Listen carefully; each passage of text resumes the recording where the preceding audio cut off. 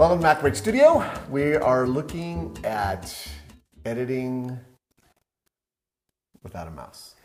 We're looking at doing, first of all, dynamic trimming. So being able you're to. going to explain what a dynamic I trimming will. is? I will. We're going to do uh, dynamic trimming, which is trimming on the fly while the playhead's going. We're going to trim an edit point, both video and audio, um, and we're going to do it without a mouse. okay, so the whole thing with keyboard shortcuts. Right. That's that's the goal here, and the purpose of this is like you can be fast. Uh, with keyboard shortcuts and dynamic trimming is kind of fun, and some people say you can't do it. So let's show them that you can. Okay. You can't do it. Well, let's You can't let's do see. it. Let's see. Okay, so we have this shot here of this man and woman on a date, and I'm going to play these two clips here. So let's play the way it is right now. Okay, how big of a shark are we talking about here? Open water. Open water. Man eater.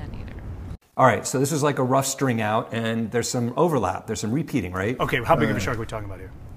Open water. Open water. Okay, so she, the big thing is she says open water twice. Let's first fix that. So um, up arrow to get to the edit point.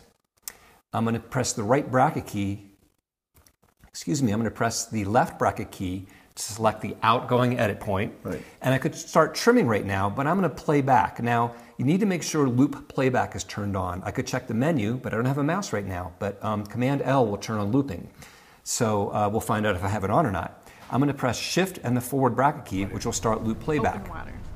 Open water. By the way, I'm going to stop for a minute just so you can hear me.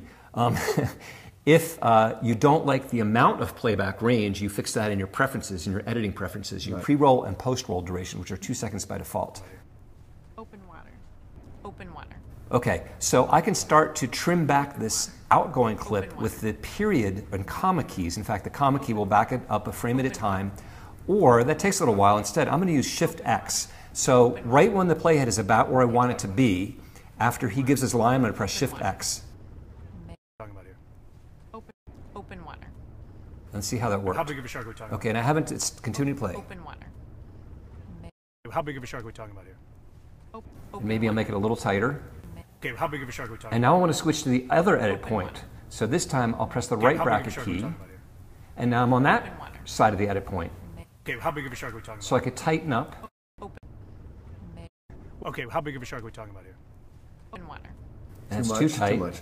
Okay, how big of a shark are we talking about here? Open water. Okay, and maybe I want to see how it feels with getting more reaction on her. Open water. A little beat there. Big of Yeah, I got a little talking beat. I'll fix audio later. Open water. I kind of like hanging on her a little bit. Yeah. shark we're talking And She's now that I've thinking got- about it for a right. second. And now I've got the right points each, but maybe I want to roll the edit. So instead of the bracket keys, I'll press the backslash key, which is right next to those bracket keys, and that will select both sides of the edit point, and I can use the period and comma keys to roll that edit. Open water. Okay, so I'm going to stop playback for a minute. So clearly, while you're playing back, uh, you can go through this process of taking both the audio and video and trimming either side or roll them. Now, let's say I'd like to look at a version where um, we hear her say open water while we still see him. We'll do a split okay? edit. Yeah, so Open. Open water. Okay, so I want to be that on have that be on the other side of this edit point. So I'm going to shift X to move that edit point and play that through. Shift forward Open slash. water. Man eater. I'll do that again. Open water. Okay. Now the problem with that is that line open water is actually off of his mic. Right. Right. So I want to get inside of these um, clips here, and I don't have a mouse, but I press the C key to select this clip. Control S will expand the audio. Command left arrow will select the previous clip. Control S will expand that audio. And now with these expanded, I'll press the down arrow. And instead of just holding down the um, right bracket key, shift right bracket will select just the audio. And from there, I could continue to play back. I'm not going to now because in reality, I probably wouldn't.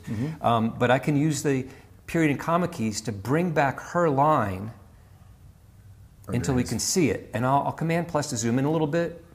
So I've got that, but now I want to select his um, line and bring it back. So I'll shift left bracket and trim his back. Again, I'm just using the comma key here. Maybe to, I don't want to see, I can see her line. I don't even need to, I can see it right there in the waveform. And let's try that. Shift. Okay, how big of a shark are we talking about here? Open water. Great. So now I've got that. Okay. Yeah. So now I've got her line correct by doing a split edit. Sure. Now the thing is, I'd really like to uh, crossfade these just to finish it up. With your default commands, there's not a keyboard shortcut for doing that. However, um, in fact, I am going to use a trackpad just to show you under the You're cheating. well, I'm not, but I'm not going to actually do anything. I want to show you under Modify, Adjust Volume. There's no keyboard shortcuts for applying uh, fades or toggling fade in and fade out. But let's do this. Option Command K will bring up the command editor. The up arrow will open up the menu in here. So I'm not using a mouse. I'm going to select my warp speed editing command set because in that command set, I'll press return. I'll press Command W to close. I'm going to cheat once again just to show this. Under my modify adjust volume, I now have keyboard shortcuts You're si- they're saved because in I that s- command set. in that command set. Yeah. So if the fade in is Control Option F, and the fade out is Control Option with the Shift key added. So um, uh, Command two to make sure the timeline's selected, and then C, and then Shift Control Option F. We'll add that fade out. Right. And then Command right arrow to select the next clip, and Control Option F will put a fade in there. so you cross Okay. between those. Yeah. Crossfading between them. So I'll play it one more time. Open water. Man. And maybe I'll just use the up arrow to go to the beginning of his line. Okay, how big of a shark are we talking about here? Open water. Man eater. Okay, so we've done a, a regular video edit, we've done a split edit, and added crossfades, dynamic trimming with no mouse involved. kind of cool. you're like you're tapping your, your, your fingers a little bit there. I'm like, okay, uh, let me have the mouse. no, that's great because like a lot of people don't even know that you know that you can select just the edit point of just the audio.